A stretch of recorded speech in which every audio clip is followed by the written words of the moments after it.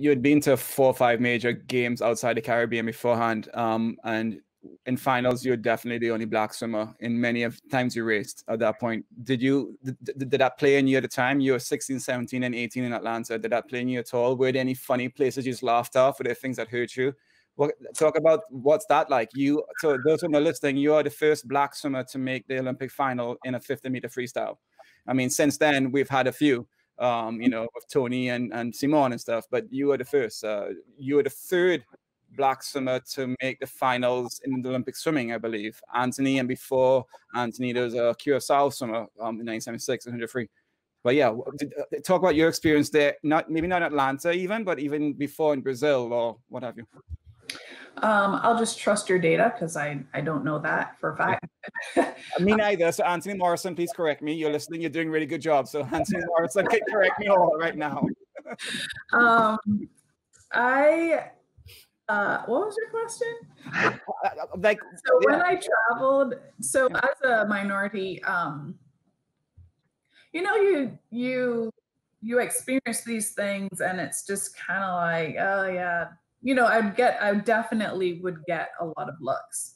But I, I was talking to somebody the other day, and I was telling them that I'm what I call a double whammy. I'm a female. Mm-hmm white sport. I'm a female and I'm black in a white sport. And so I consider that a double whammy of a, with a coaching that is predominantly male and predominantly white male, white males. And so, you know, things have happened to me where I think to myself and I justify it. I think of it, oh, well, Leah, maybe if you had done this, maybe if you had done that, maybe if that had happened. Oh.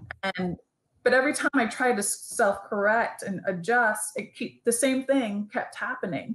Um, and so it was similar with swimming when I was younger, where you know you walk on a pool deck and you have people just staring at me, and in my mind, I'm like, oh, maybe they're staring at me because I'm tall. Like maybe in the Caribbean, yeah, but yeah. Um, and so because in growing up in the Caribbean, you're it was because you were tall. It was because you were fast. It's because you had just set the Barbadian record. So there's Leah. Let's look at her. That's why I didn't think of it that way. I didn't think anyone knew who I was. I still don't think anybody really knows who I, I am. So mm. going to these different meets, definitely I had people looking at me. Um, but again, I just thought it was because I was tall and they had just never seen me before. Um, there were one time I went to, I tell this story all the time. One time I went to Japan for when World Championships was in Fukuoka. Yeah, yeah, Fukuoka, yeah. And um, every time got in an elevator and a Japanese would walk in, they'll go, oh, just look at me up and down. And like, I'm like, yes, I am tall and I am black. Yes, I am. Do you remember? Do you remember the summer, Sharon Harewood? So Shaun went to those Fukuoka games for Trinidad. He was a breaststroker. So he and my brother went, and they all thought he was Michael Jordan. And so he played along with that, and he just signed Michael Jordan autograph left, right, and center for all the Japanese guys. my brother has this great story. Yeah, I'm, I'm Jordan. Here we go. Dark and bold. He's like, okay, there we go. Oh, there. Yeah. So I mean, but again, it wasn't anything. Um, nothing traumatizing Yeah. going to these meets. Nothing was very traumatizing.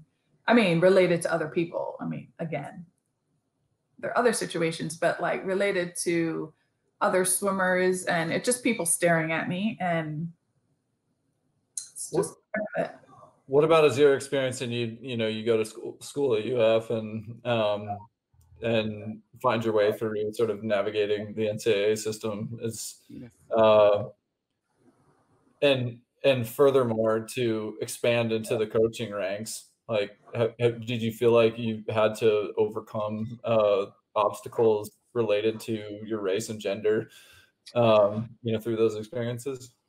Um, from a coaching perspective yes a little bit but one of the so obviously i came i didn't start college i didn't come to the us until to start college so i didn't come for high school or anything like that yeah from the Caribbean to the US. And quite honestly, my father did not want me He did not want me to come to the. It was between going to Australia and going to Florida.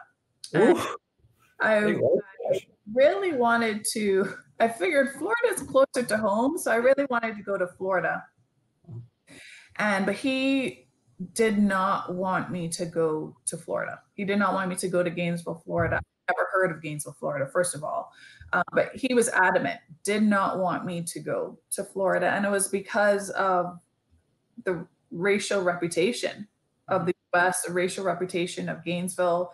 He did not want me to experience that because we had had friends who, now you have to understand, within the Caribbean, everyone's mixed with something. Like Luke, I'm sure, is mixed with something. And um yeah, sometimes I think a little bit of crazy. yeah. so everybody's mixed with something. So I had um, some close friends that actually went to um, who went to Florida and they had a really hard time. Like in Barbados, they'd be considered a Bajan white, but in the US, who's this, Leah? Considered white, and they wouldn't be considered black. Yeah. So they had, she had a really hard time. A lot of racial situations happened with her. So these were really close family friends. So my father, right. like, I do not want to send her to, to Florida. The only thing that got him to send get, let me go to Florida was that Anthony was there because Anthony was one of the coaches. It was his first year, and I was like, "Daddy, Anthony Nesty's going to be there. One of the coaches, knowing full well Anthony's with the men's team. My father didn't know that. Anthony Nesty's going to be there. I mean, it's going to be great. One of the coaches. That was the only thing that convinced him to let me go to Florida. Good man. So we so so first of all that and I was like, Daddy, don't worry about it. It's no big deal. Like that's so long ago. Like race is not an issue anymore. And so he agreed to let me go. Well, the culture shock came to me when my somebody, I don't remember who it was, somebody came to me and asked me, So, how does it feel to be the only Black person on the team? And I was like, I don't know. I like that was the first time race was like like slapped me in the face because in Barbados that's not really it wasn't really part of your identity. Like you didn't grow up thinking I'm black. Like you you just I don't know. So that was the first time that um I think they asked me that and like and then they were like, "Oh, I, like or African American." I'm like, "I'm not African American because I'm not American. I'm I'm Barbadian." So I'm a citizen now, but at the time I was an international student. So it really opened my eyes. I didn't even tell my dad that story because God forbid. But it really opened my eyes at how much this country relies on race as being an identity. Mm-hmm. And um, so that was like the first time that I was just like, wow, this place really does look at like race is clearly a big deal. And so then I kind of just played it off like whatever. I'm like, okay, I guess I'm the only black girl on the team. And just so happened I was the fastest. So it really didn't affect me all that much. I was like, whatever.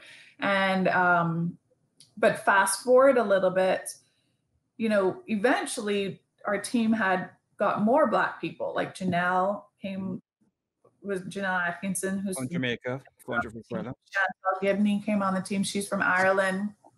And so the three of us would make up a relay and we would always joke around that the one white girl would be the honorary black girl on this relay because we needed four people on the relay. But officials would always mix Janelle, me, and Chantal out. And I'm like, I'm 10 feet taller than Janelle. Like, what? How could you even mix us up? So, like, stuff like those subtle things would happen to us all the time, all the time. Um, but but it's it's interesting. It's just it was very interesting for me coming from the Caribbean and then coming here and realizing, wow, like you people really pay close attention to race. Like even like one of one of my teammates was like, "Oh yeah, I was trying to describe someone to you and I was having a hard time explaining who you were." And I was like, "Why didn't you just say the only black person on the team?" And she's like, oh no, I couldn't say that. I was like, okay, this is really confusing. Like, why can you not say? And so it was just, just those very subtle things that would happen.